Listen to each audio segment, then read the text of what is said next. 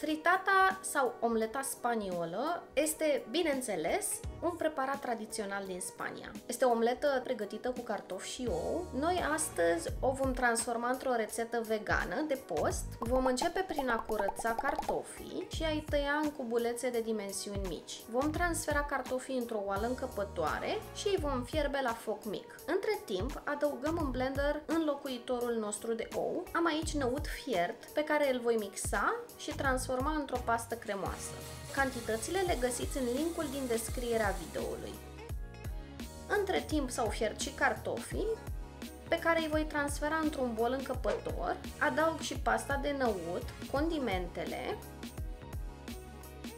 turmeric, paprika dulce și sare neagră. Această sare neagră este sulfuroasă și va da gustul de ou fritatei noastre. Dacă nu aveți sare neagră, folosiți sare normală, apoi adaug și un borcănaș de brânzică Feel Good. Aceasta este o brânzică de caju cu mărar și ceapă verde. Brânzica de caju, evident, nu conține lactoză, este delicioasă, cremoasă și fiind preparată din caju, conține vitamina B, calciu, proteine și grăsimi de calitate.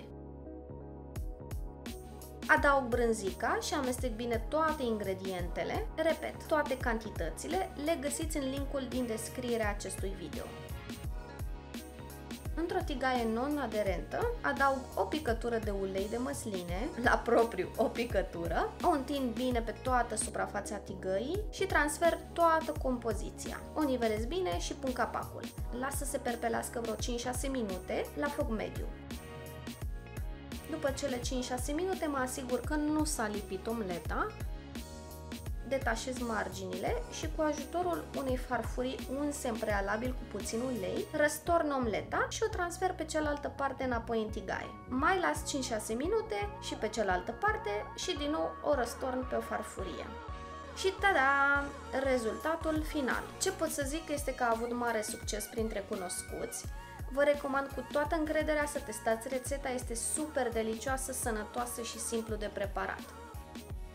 Dragii mei, nu uitați să dați click pe subscribe și pe clopoțelul de lângă dacă doriți să fiți la curent cu toate noutățile din bucătăria Dolce Far Verde. Nu uitați că doresc să vă inspir și să vă motivez către un stil alimentar echilibrat.